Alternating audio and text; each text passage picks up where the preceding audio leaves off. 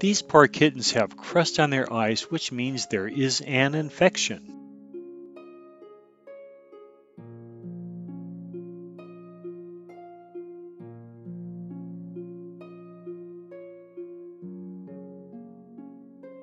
Their mother cat never returned after watching them for a long time.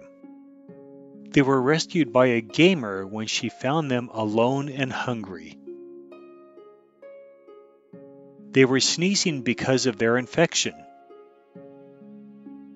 Vicky, who saved them, also gave them antibiotics from the vet and they started to do much better and their energy went through the roof.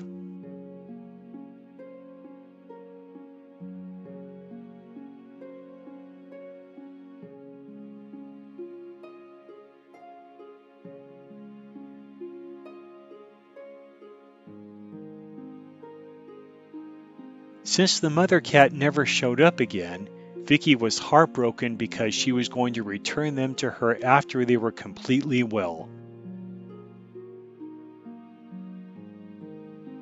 So Vicky is now their new cat mom. She live streams on Twitch three times a week and shares their story. There was a time when they needed to be fed while she was streaming, so she fed them during that time and presented Artemis and Apollo to the rest of the gaming community. She always wakes up excited to see them too. We think this pet rescue saga shows the importance of pet health and how they respond to our love. Check the link below for some videos of them.